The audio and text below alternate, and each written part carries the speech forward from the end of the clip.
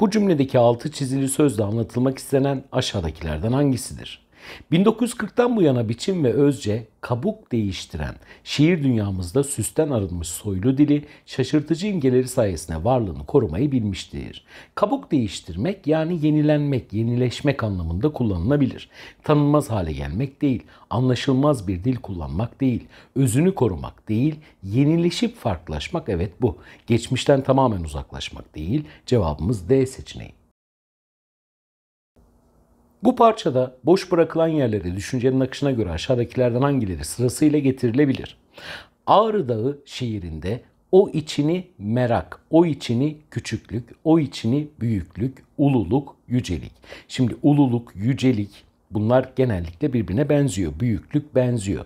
Devam edelim. Nokta nokta duygusunu bir an için nokta nokta dağa bakarken her şeyin sisler, bilinmezler içinde olduğunu görür. Evet şimdi baktığımız zaman dostlar duygusunu bir an için eleştiren dağa bakarken her şeyin sisler bu olmadı. Zorlayan dağa bakarken bu da olmadı. Benzeten dağa bakarken bu da olmadı karıştıran dağa bakarken bu da olmadı. Ancak bir şeyi somut hale getirmek, somutlaştıran dağa bakarken her şeyin sisler, bilinmezler içinde olduğunu görür. Yani Ağrı Dağı adlı şiirinde o içini sarsan büyüklük duygusunu çünkü Ağrı Dağı çok büyüktür. Bir an için somutlaştıran dağa bakarken evet onunla birlikte somutlaşıyor. Her şeyin sisler, bilinmezler içinde olduğunu görür. Cevabımız C seçeneği olmalıdır. Eleştiri türüyle ilgili aşağıdakilerden hangisinde bilgi yanlışı vardır? Bir eseri inceleyip onun zayıf ve güçlü yönlerinin ortaya konduğu yazılardır. Doğru. Sanat ve edebiyat alanında yol gösterici özelliğe sahip düşünce yazılarıdır. Doğru. Çağın koşullarını bilen ön yargısız, kültürlü ve bilgili kişiler tarafından yazılır. Doğru. Eleştiri öznel, taraflı, dayanaksız olmalı ve okur yönlendirmelidir. Yanlış. Tam tersi nesnel, tarafsız, dayanaklı olması gerekir. Asıl amacı herhangi bir eserin gerçek değerini meydana çıkarmaktır. Doğru. Cevabımız D seçeneği olmalıdır. Bu eleştiri metninden hareketle Talip Apaydın'la ilgili yargılardan hangilerine ulaşılabilir demiş. Sarı traktörü okuyunca anlıyorsunuz ki Talip Apaydın köye traktör girmesini istiyor. Traktörün faydasına, gücüne inanmış. Bunun için köydeki ilkel üretim biçimini bütün ayrıntılarıyla anlatıyor. Sabırla toplanmış bilgiler, gözlemler birbirini kovalıyor. Sap çekimini, döğen sürmeyi, tınaz savurmayı, saman çekmeyi, bunlardan başka pancar sulamayı, pancar sökümünü, pancar taşımayı bütün ayrıntılarıyla görüyoruz. Apaydın ilkel üretimin köylüyü nasıl yıprattığını, nasıl kahrettiğini belirtmek için anlatıyor bunları. Şimdi Kuvvetli bir gözlem gücünden ayrıntıları yansıtırken yararlanmış mı? Kesinlikle. Şehir hayatındaki kolaylıkların köyü kalkındıracağına inanmıştır. Şimdi şehir hayatındaki kolaylıklar nedir? Bu traktör mesela. Evet. Sanatını, düşüncelerini yaymak için bir araç olarak kullanmıştır. Evet bunu da söyleyebiliriz.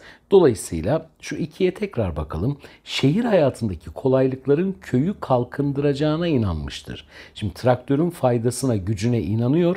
Bunun için köydeki ilkel üretim biçimini bütün ayrıntılarıyla anlatıyor. Sabırla toplanmış bilgiler, gözlemler birbirini kovalıyor.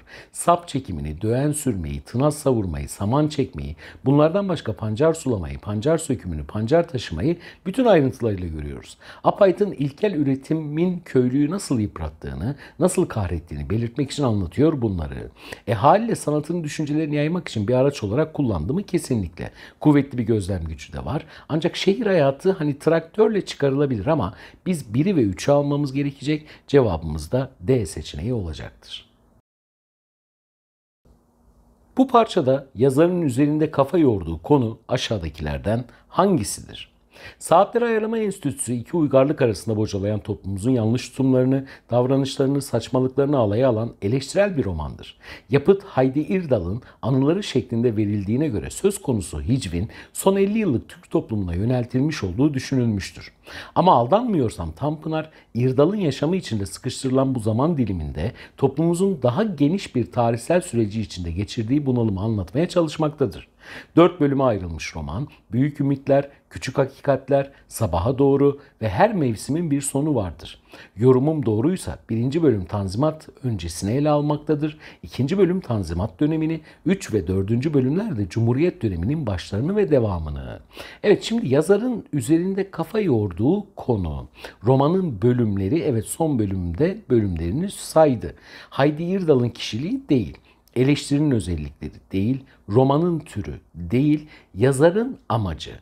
Şimdi burada yazarın neyi nasıl anlatmak istediği üzerine kafa yorduğuna göre yazarın amacını bulmalıyız. Dolayısıyla cevabımız B seçeneği olmalıdır.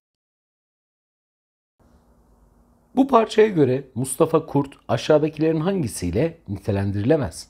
Mustafa Kurt ilmi merakıyla edebiyat tarihimizin pek de kimsenin dikkatine çarpmayacak ayrıntılarını kütüphanelerde, sahaflarda iz sürerek yakalayabilen ve bunları edebi bir heyecanla okuyucusuyla paylaşan bir yazardır.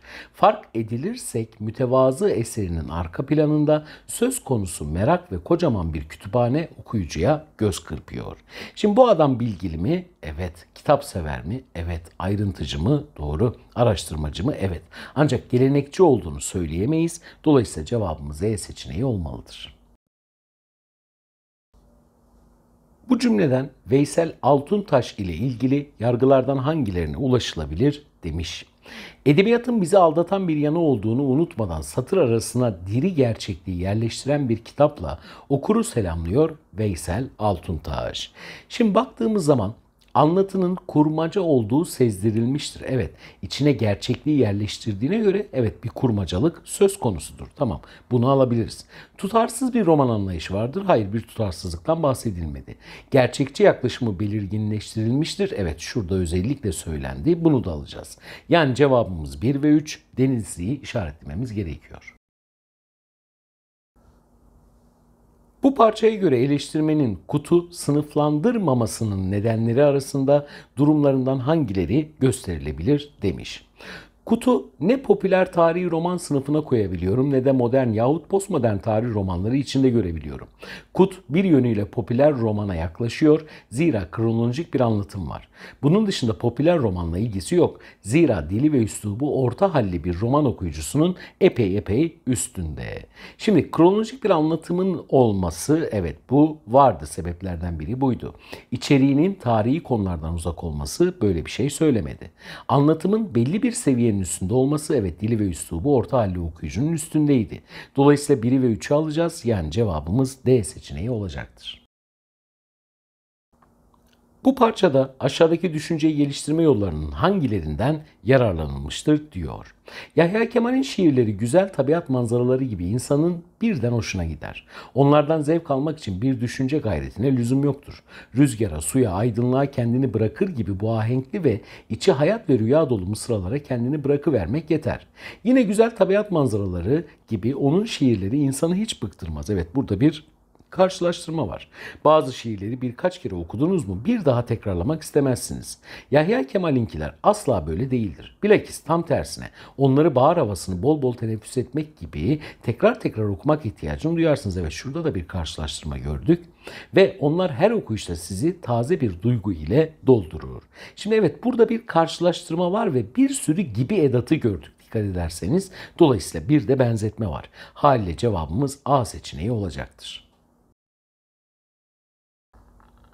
Bu parçada eleştirmenin yazarın ön plana çıkardığı özelliği aşağıdakilerden hangisidir?